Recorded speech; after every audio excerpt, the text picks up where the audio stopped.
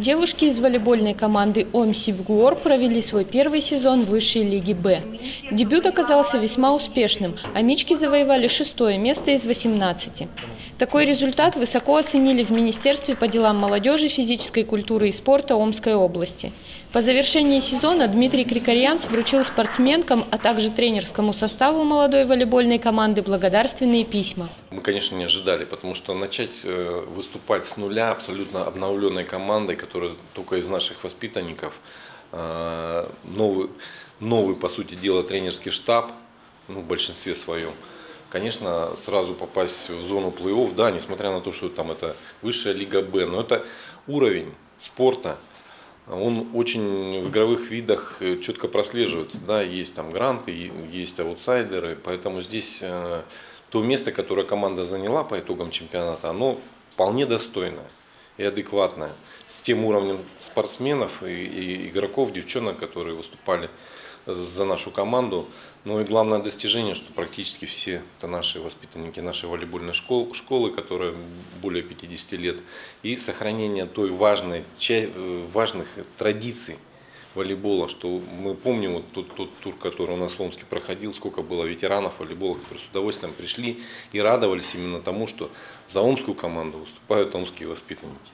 После торжественной части уже в неформальной обстановке за чашкой чая собравшиеся обсудили с главой регионального Минспорта прошедший сезон, насущные проблемы и планы на будущее. Я довольна сезоном. Э, как бы небольшие дости... ну, небольшое достижение в нашей команде уже есть. То, что мы вышли в финал, это уже о многом говорит. Э, значит, ну, то, что не заняли призовое место, конечно, расстраивает, но э, это значит, что есть над чем работать.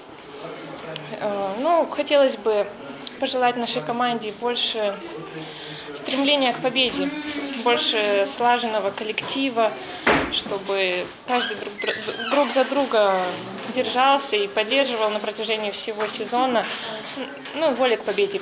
Девчонки, конечно, все воодушевленные, это ну, без сомнения, но сложность была в том, что много, много у кого не хватает еще вот именно профессионального отношения к спорту.